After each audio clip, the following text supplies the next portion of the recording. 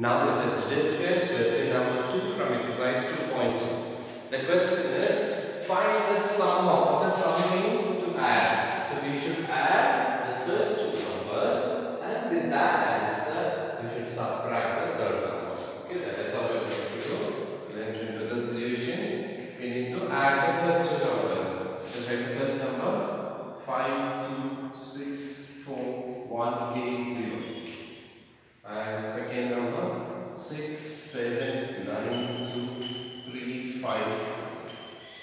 We need to add these two numbers. What is 0 plus 4 is 4. 8 plus 5, 13. 3, 1 reminder. 1 plus 1 is 2, 2 plus 3 is 5. 4 plus 2 is 6. 6 plus 9 is 15. So 5, 1 reminder. 1 plus 2 is 3, 3 plus 7 is 10, 0, 1 reminder. 1 plus 5 is 6, 6 plus 6 is 12. So here the answer is 1 crore 20 lakh 56,534. Now the second is subtract the third number from this.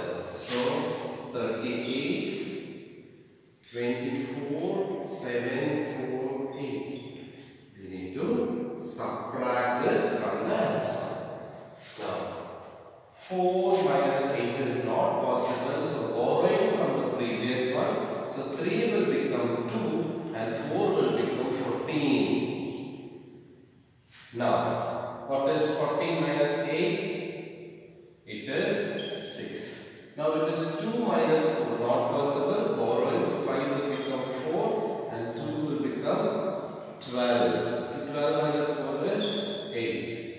4 minus 7 is not possible. So borrowing 6 will become 5 and 4 will become 14. It is 14 minus 7, it is 7. 5 minus 4 is 1. 5 minus 2 is 3. 0 minus 8 is it possible? No. So we should go on. This 2 will become 1 and 0 will become 10. 10 minus 8 is 2. 1 minus 3 is it possible? No. So we will borrow 1 will become 0 here and here it becomes 11. What is 11 minus 3? It is 8.